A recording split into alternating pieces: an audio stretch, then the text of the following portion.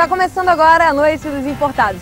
E como nós já estamos à véspera do Dia das Mães, é claro que o programa hoje tem ideias sugestivas, presentes diferentes, presentes que integram a vida de primeiro mundo, né? Para que você presenteie a sua mãe, sim, em altíssimo estilo, porque ela merece sempre muito mais. E é esse muito mais que o programa tra traz hoje.